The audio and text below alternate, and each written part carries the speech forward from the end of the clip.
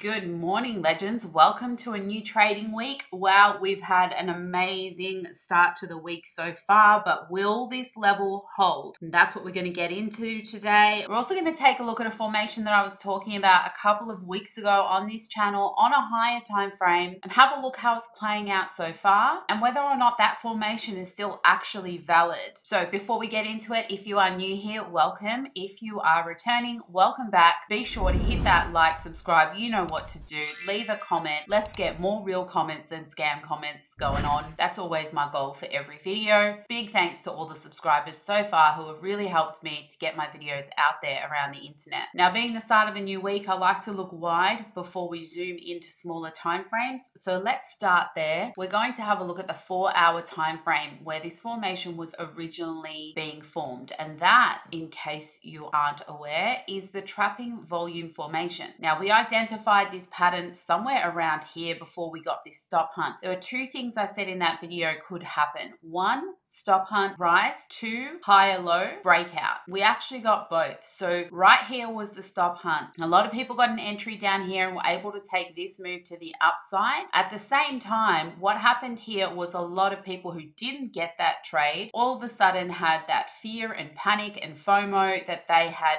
missed out, which is exactly what the market maker wants you to feel, right? However, if you do go back and watch that video, and I'll try to link it somewhere up here if I can find it, but if you do go back and watch that video, what I did say was that we would get a break and then we would come back and create a lower high. And as long as we create a lower high, that formation was valid. If you missed this move, then the lower high was here on this stopping volume candle right here, and you could have taken this one. So it's a lesson to not panic if you miss a trade. There's always going to be another opportunity. However, we have another problem, and that problem being the 200 EMA on the four hour time frame. As you can see, we struggled here once before, came back, created the higher low, and now we are struggling here again. Are we going to break that 200 EMA this week? That is the question. What's happening here in price action right now is very, very similar to what happened here when price was struggling to get above the 50 EMA.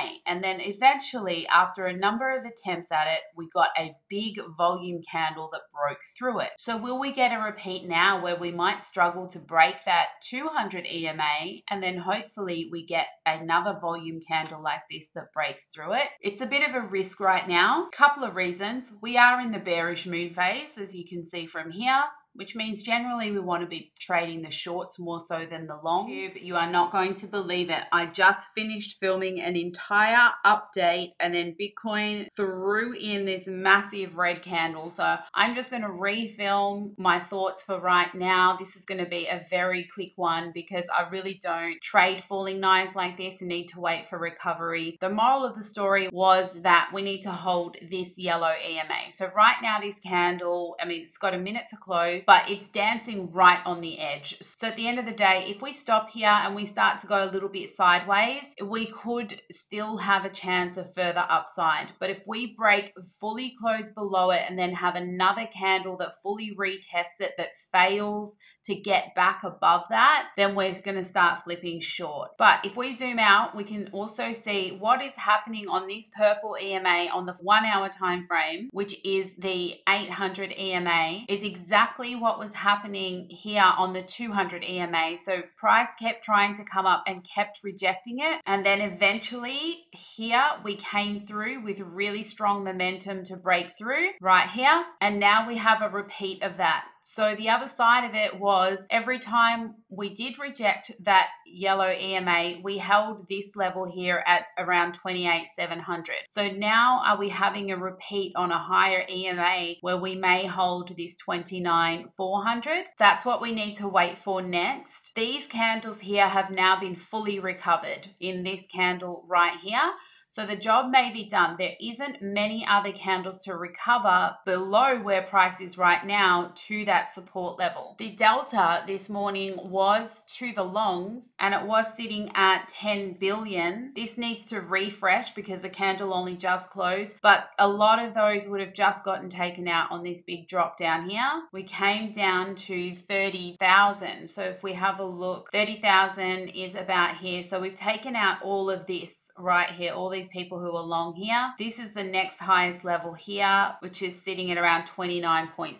29.6 on our chart takes us back to this support level. So if we continue down, this is the area to watch right here. However, the market maker may have already done everything that they intended to already because they have fully recovered three, these three candles. So I'm just going to edit this into the start of the video that I had just finished editing. Don't let the moon phase put you off, just trade what you see. I just like to be aware of it because as you can see here, this was the bullish moon phase. We usually have a sell off into it and then a pump out of it. Bearish moon phase, we usually pump into it and sell off out of it. So far that hasn't happened, but it is a two week phase, so we don't know if it's coming. So moon cycles aside and looking at the higher time frames, going off the EMAs alone, we have a little bit of struggle town right now. Don't forget that the TTC Discord is open for the month. We are at the beginning of the month and it is the best time to join. So if you're wanting to access these things without having multiple different subscriptions, come and join us in the first class tier of the Discord. We are trading in there 24 7. And on that note, just a big shout out to everyone in the US and the UK that has joined us in the Discord, especially this month. It is so humbling to have an audience that is worldwide within two months of me starting my own things. So I'm so grateful for everyone that's jumped on board.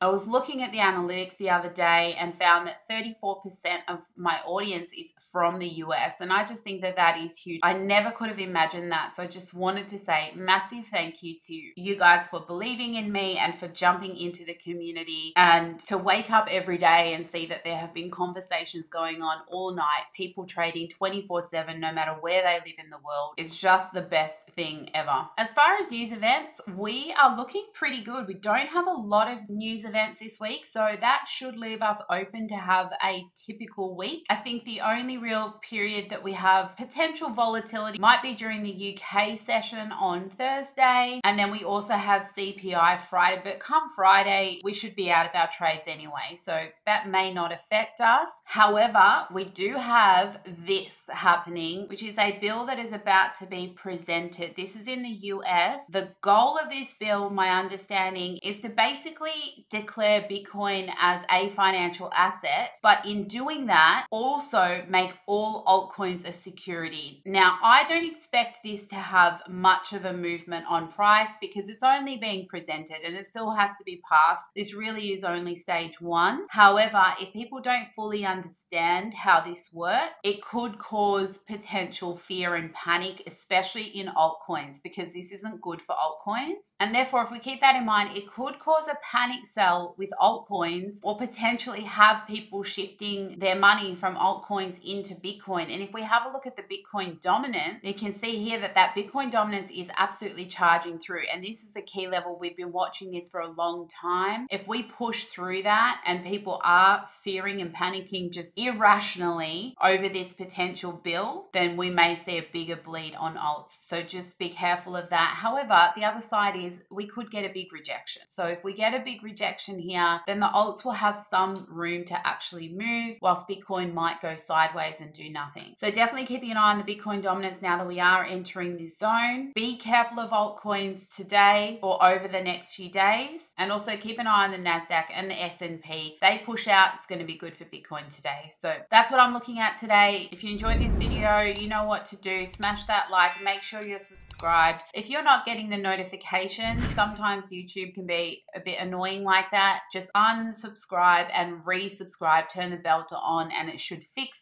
things. And be sure to check out the Discord link down below if you're looking to deep dive into any of these trading strategies. I will see you tomorrow for tomorrow's update. Have the most amazing day.